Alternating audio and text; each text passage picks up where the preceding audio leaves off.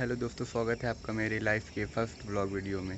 तो वीडियो शुरू करने से पहले मैं अपना नाम बता देता हूँ। मेरा नाम है ऋषभ कुमार और मैं पूरा मुक्ति में रहने वाला हूँ इलाहाबाद में। और एजुकेशन की बात करें तो मेरा अभी फ़र्स्ट ईयर चल रहा है। तो गाइज़ आज मैं अपने छत पे आया हूँ और ये देखिए, मेरे छत के पीछे का बैकग्राउंड तो गाइज़ मैं यहीं टहल रहा था। तो यहाँ देखा कि देखिए गाइज़ कल बारिश हुई थी तो यहाँ पानी भर गया है। ये देखिए और गाइज़ यहाँ पास जो पानी भरा है, यहाँ पास बच्चे आके खेलते हैं। तो गाइज़ मिलते हैं नेक्स्ट वीडियो में।